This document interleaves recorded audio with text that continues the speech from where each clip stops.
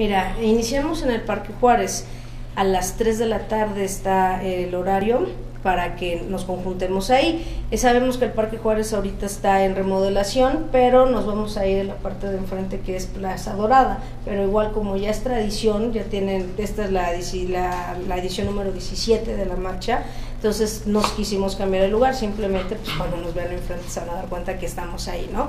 Y de ahí vamos a tomar todo el Boulevard 5 de Mayo. De hecho se invitó a varios establecimientos a sumarse. Todos los que están en el recorrido, hoteles, empresas de todo, eh, se les invitó a que decoraran sus establecimientos para que pues bueno eso sea una manifestación de apoyo y que nosotros como LGBTs pues sepamos que en ciertos lugares pues nos, nos somos bien recibidos no este y bueno te decía todo el Boulevard 5 de Mayo de ahí vamos a subir la 7 Oriente hasta llegar a la 16 de septiembre y vamos a concluir en la 3 Oriente que es la calle aledaña al está entre el Zócalo la plancha del Zócalo y la y la catedral entonces este movimiento lo hacemos con mucho respeto, pidiendo este pues también que nos respeten igual. Son una es una es una nueva generación, es un diferente tipo de movimiento. De hecho somos los un nuevo colectivo el que la estamos organizando y pues bueno esperamos como te comento que todos los que nos ven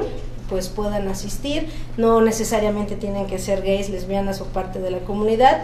Aquí vamos con familias porque nosotros somos partes de familias heterosexuales, no brotamos de la tierra como margaritas, realmente nosotros nacemos de, de familias heterosexuales y pues nuestras familias, la mayoría de nosotros nos aman y pues van apoyándonos, compañeros de trabajo, amigos en sí, este, el 80% quizás seremos LGBTs y de ahí el otro 20% serán personas que pues que nos apoyan.